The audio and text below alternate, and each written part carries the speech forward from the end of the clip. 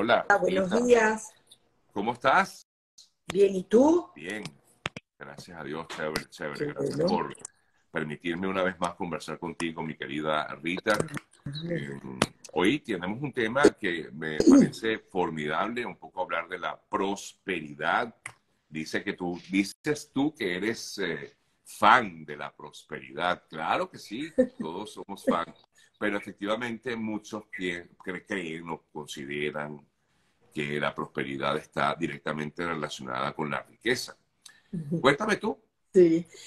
Este, me encantó el tema para hoy lunes que comenzamos la semana y, y, sabes, llenos de energía, después de haber tenido este, la reflexión y el descanso de la Semana Santa. Este, fíjate, yo quería empezar por, por definir, según lo que conocemos, vamos a empezar por la abundancia. La abundancia viene de la palabra latín abundatía y eso qué significa eh, tener mucho de algo, de cualquier cosa. O sea, nosotros podemos ser abundantes en carteras, abundantes en, en una cantidad de cosas. Y, lo que dice eh, toda la, información o lo que tú puedes conseguir sobre abundancia es que nosotros tenemos que preguntarnos muchas veces en qué somos abundantes. Somos abundantes en, en, en, gratitud, somos abundantes en generosidad. en dinero no, en dinero no hay mucho. Exacto, vamos a suponer que eh, la parte material no sea mucho. Pero fíjate, también conocemos gente que es abundante desde el punto de vista económico, Sergio, muchísimo dinero, pero también abundan cosas negativas en esas personas. Abunda que no tiene estabilidad familiar, abunda que muchas veces estás lleno de rencor, de rabia, vives mal geniado, con cólera, porque gestionar esos ingresos, las empresas, los negocios, cualquier cosa que hagas, te genera este, frustración, te genera em, complejidad en tu vida. Entonces también tienes abundancia de cosas que son negativas.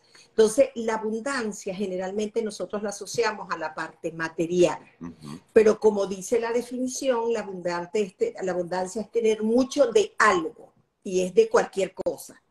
Entonces, ¿qué debemos hacer cuando estamos eh, queriendo construir una abundancia desde el punto de vista de crecer la parte económica? Tener el equilibrio necesario para nosotros tener bienestar integral.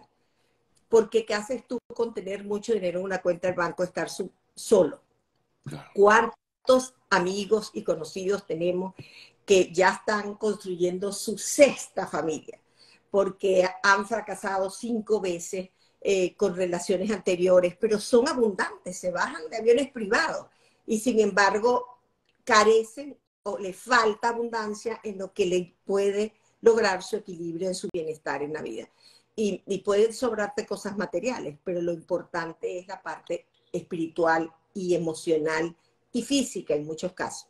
Y por eso queremos que en esta conversación de hoy la gente se lleve como para meditar en su casa. Bueno, yo voy a hacerme unas preguntas. ¿En qué soy yo abundante ahorita?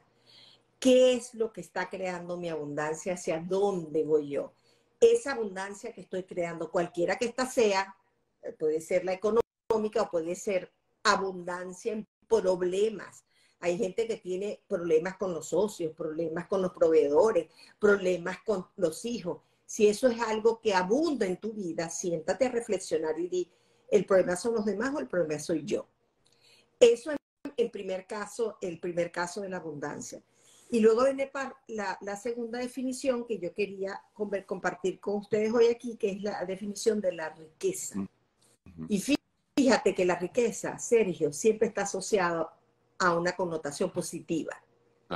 Y es la abundancia de bienes, de cosas, de bienes materiales, cualquier cosa. La riqueza no se mide por bienes intangibles. Pero fíjate, la riqueza es considerada también una fuente de energía, porque cuando tú tienes abundancia en dinero, tú puedes crear cosas y la energía nos permite crear cosas. Pero como toda energía, Sergio, la riqueza viene con un letrerito de advertencia. Y esa advertencia es cuál es tu fuente de riqueza. Porque si tu fuente de riqueza, Sergio, es cogete el dinero de los gobiernos que estás gestionando, hacer negocios comisionables que tienen como origen una mala intención. Eh, tú eres millonario y eres rico y lo muestras, yo decía en las redes sociales, pero cuando tú hablas con uno de los colaboradores de esa persona, está mal pagado, no le tienen dos años y no le aumentan el salario. Es decir, si tu riqueza está construida, que por eso las letritas chiquitas de la advertencia, tu riqueza se basa en, malas intenciones, en negocios turbios, en abusar de tus colaboradores, esa riqueza es karmática. Y tú vas a conocer gente que, que, tú, que ves que el dinero le entra, le entra, pero no hay un crecimiento sostenible. Y al fin y al O sea, no son felices. Eso es correcto. No son felices. Y aunque se llenan de cosas materiales, porque hay abundancia en dinero, Sergio, no son felices. Eso es lo que tú acabas de decir, es correcto. Entonces los vemos dando trastazos o los vemos con la necesidad de publicar, de comentar, de tomarme la foto montándome en el avión, pero mis colaboradores me ven también a través de esas redes, pero cuando me dicen que necesitan un ajuste o tienen una necesidad, yo no comparto esa riqueza. Y otra cosa, no hay riqueza o abundancia si tu entorno es pobre. ¿Cómo así? Bueno, si tú, si tú eres rico, eres abundante, pero entonces tú, yo voy a tu oficina y todos tus colaboradores están con carencias económicas, emocionales, ¿cómo tú eres próspero? Cuéntame cómo, cómo tú estás aquí arriba y esa prosperidad no permió en tu equipo de trabajo. O bueno, pero eso, se ve, mucho, eso se ve mucho en los gobiernos, ¿no? Sobre todo. Eso es correcto. Mira los líderes de los gobiernos con esa abundancia, con esos aviones, con esas carteras y ese pueblo pasando necesidad y pasando trabajo. Ellos no tienen problemas con la salud, ellos tienen acceso a los mejores médicos, a las mejores tecnologías, pero su pueblo a qué tiene acceso. Entonces, eso es lo que yo te digo, esas, esas fortunas que ahora vemos y no sabemos qué, eh, eh, cuál es el origen de, de, de algunas fortunas, eso es lo que yo te digo, que esa es una riqueza mala vida, esa es una riqueza que no, no alimenta ni tu alma, ni tu emoción, ni hace un balance en lo que es tu vida. O sea que se puede ser rico, más no próspero. Eso es correcto, porque ahora vamos a hablar de la prosperidad y por eso es que yo amo la prosperidad, porque la prosperidad, Sergio, es un estado en tu vida y el estado tú lo vas nutriendo, muchas, a veces está mejor, a veces está, eh, no, mm, no, está tan bien, pues, pero la prosperidad viene de la palabra prosperita, que qué es lo que significa, lograste algo bueno, te moviste, progresaste, continúas en una prosperidad que permea en tu entorno, porque no necesariamente tiene que ver con la parte económica, es un bienestar integral. Y cuando tú estás claro en eso, Sergio, tú eres una persona próspera, porque es un estado interior de confianza y de crecimiento que tú tienes, que te permite permear esa prosperidad, esa tranquilidad, esa paz. Y te voy a decir que Catherine Ponder, que es una ministra de la Unity Church, que sabes que es una iglesia gigantesca, ella dice, eres próspero en la medida que experimentas en tu mundo interior paz, salud y mucho más. El mucho más significa que tienes una estabilidad económica, que tienes tus eh, necesidades básicas este, garantizadas, pero en eso consiste la prosperidad. Y la prosperidad, cuando nosotros sentimos la prosperidad y abarca nuestro entorno, Sergio, es que tiene un impacto en nuestra familia, en nuestra comunidad, en el, municipio donde vivimos, en el país, de alguna manera, es como una ola.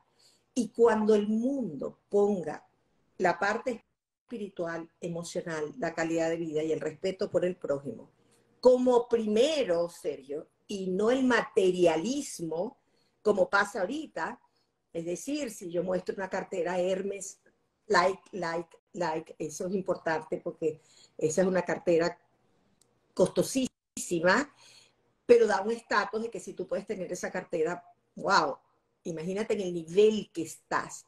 Pero ¿qué estamos haciendo en ese momento? Estamos valorando lo material por encima de lo espiritual, emocional, por encima de la paz, por encima de la humanidad. Porque yo, como te digo, tú puedes tener una empresa y puede ser tener una abundancia y riqueza interesantísima, pero a lo mejor no es, no es próspero de, de emociones, de valores. Y por eso yo decía, yo amo la prosperidad. Ahora, se puede ser eh, pobre o, digamos, no tener los recursos que, que pudiéramos tener y ser próspero. Fíjate, la prosperidad también implica, Sergio, que tú tengas una relación consciente con el dinero. Okay. Porque la, o sea, si una persona no sigue nada, si una persona es pobre, porque no es pobre de, de, abundancia o de riqueza, también hay pobreza de espíritu y de mente. Entonces, la, prosperidad, como es un balance integral en tu vida, trabaja el crecimiento y el progreso del ser humano. Entonces, tú empiezas a tener una relación con el dinero, pero una relación de, respeto y de entender cuál es la función del dinero, sigas y sigas prosperando, ¿verdad? En tu calidad de vida y en tu entorno. Entonces, muchas veces somos pobres de mente, somos pobres de espíritu. Eh, por ejemplo, los, los pobres en, en, muchos de nuestros países, Sergio, conectan con mensajes que los que hacen es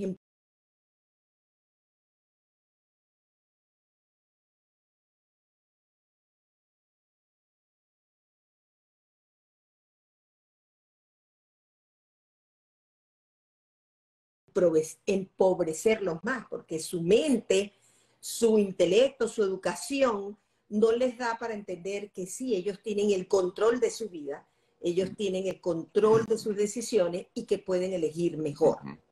Entonces, e, en esa parte es bueno que aclaremos em, que la prosperidad también tiene que ver con, con un crecimiento y que tienes que cultivarlo y estar consciente de qué haces con el dinero, porque mira, hay, hay, gente que es abundante y rica, pero también es abundante en deuda, abundante en, en, en, seguir con esa apariencia de que tiene un estatus, eh, eh, tú sabes, que, que vale la pena, y, y, no, y eso no es así.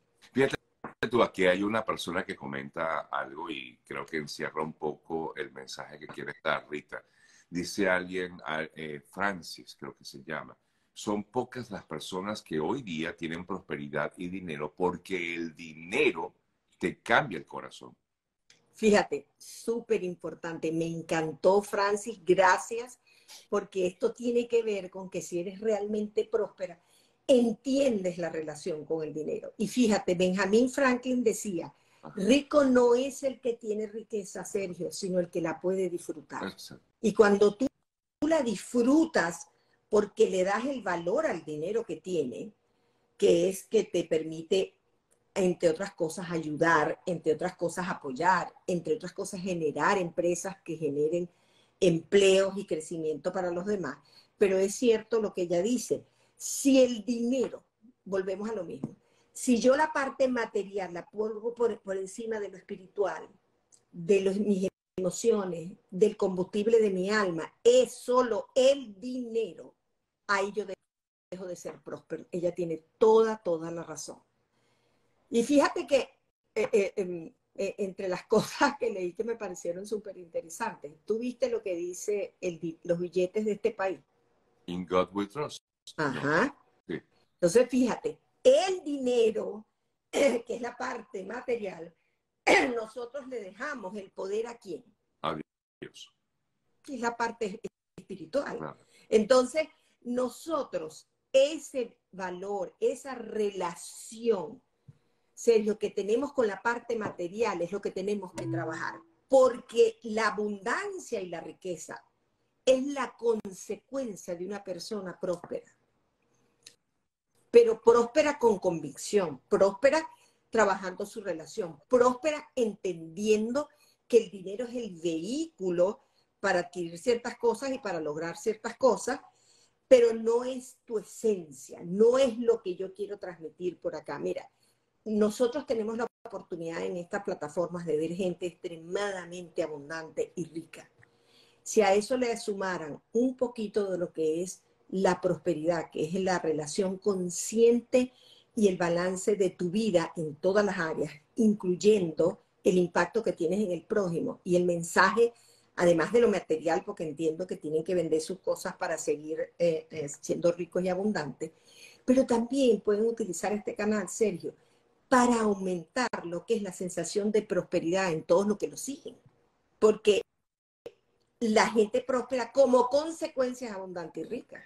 Porque, como te digo, trabajó y puso lo que realmente vale en su lugar. No, no, no es lo material, no es lo mundano, es al revés. Eh, fíjate tú, mm, mm, uno de los tantos libros que uno lee, sobre todo relacionados con, este tema de la riqueza, la abundancia, este libro que se llama algo así como cómo lograr una mente millonaria, no me acuerdo el nombre.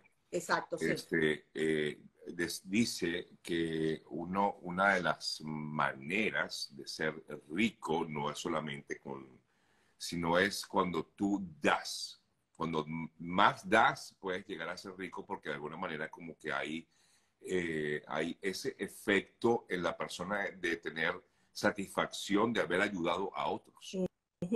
Exacto, y fíjate, lo, lo, que das, lo que haces, lo que generas en tu, en tu camino de prosperidad, tiene que ver también con el agradecimiento y el dar.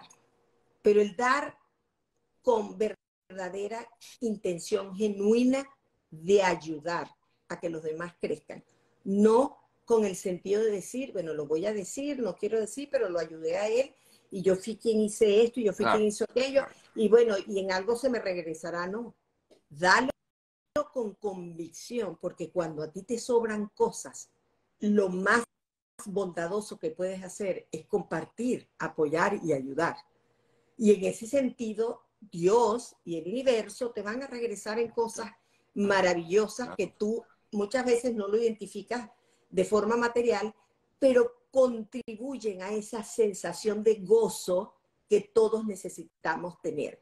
Porque como ya sabemos, el gozo es el camino hacia una sensación, no es un estado final como la felicidad, no es que yo soy próspero hoy mañana no soy, es esa sensación, es que hiciste hoy para contribuir a tu crecimiento, a tu progreso, a ese estado de prosperidad que nos hace sentir en calma, que nos hace sentir en paz, que nos hace sentir que llegamos y seguimos trabajando para seguir cultivando y, y, logrando nuestras metas.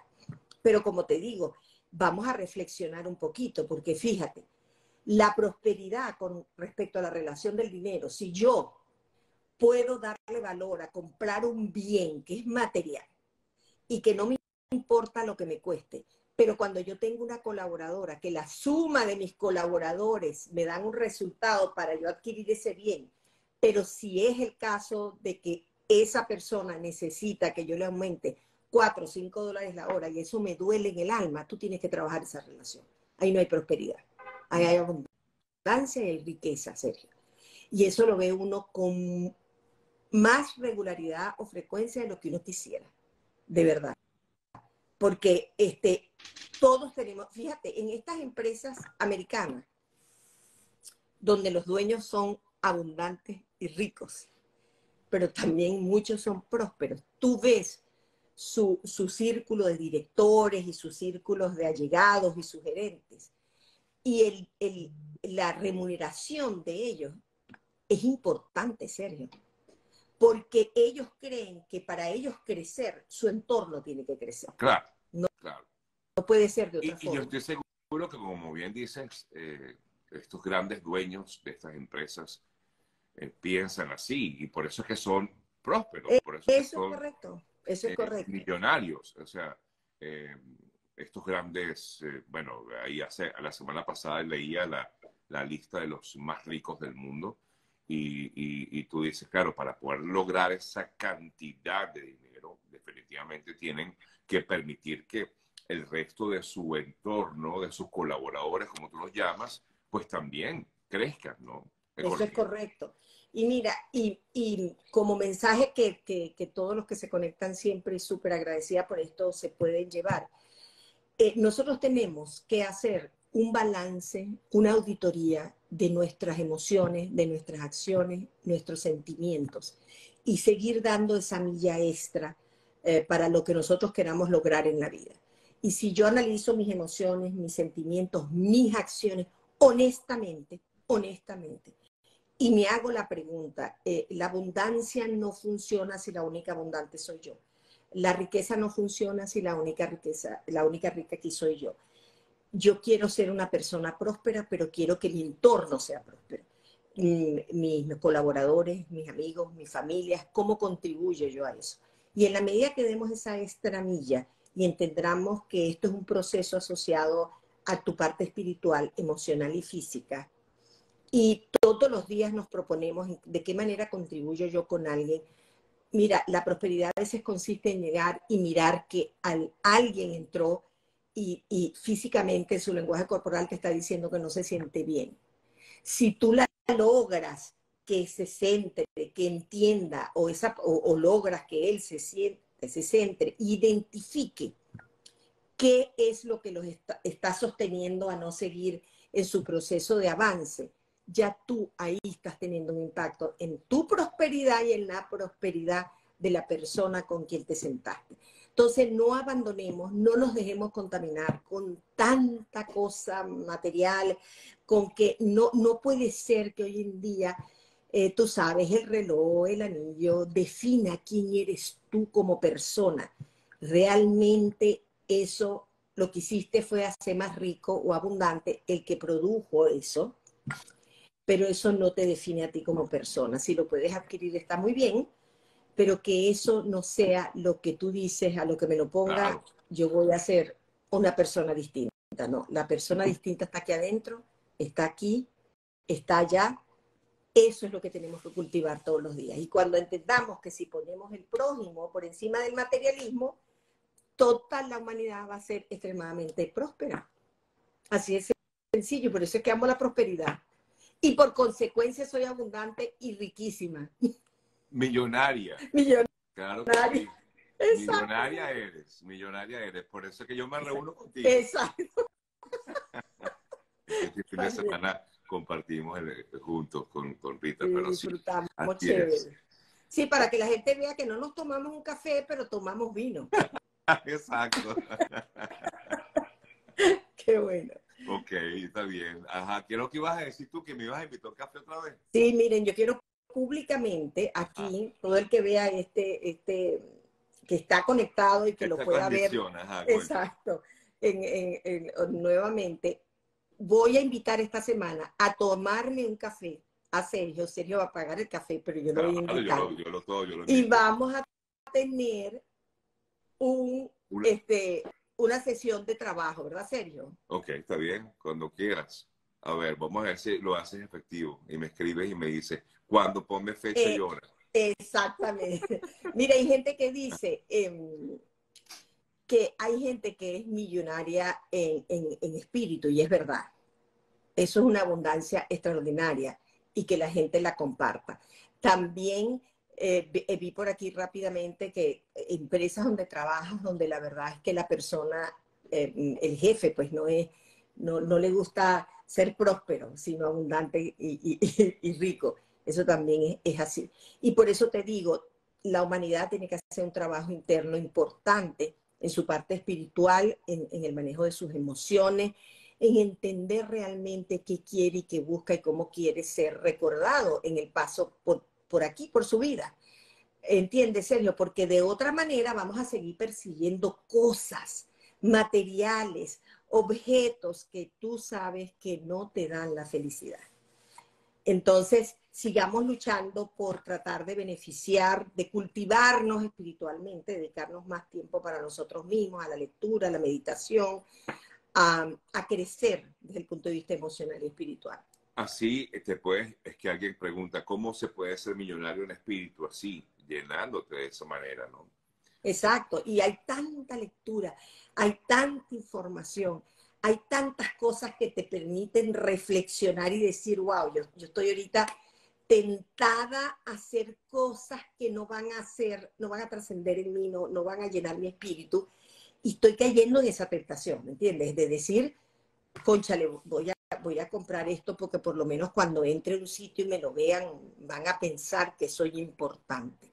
No, no le dejes ese poder a, a los demás. Siéntete importante tú aquí, ahorita, en este momento, a todos los que están conectados, a los que están en su casa, son personas únicas e importantes sin necesidad de ponerse nada que la sociedad o los fabricantes de esos productos nos han metido en la cabeza.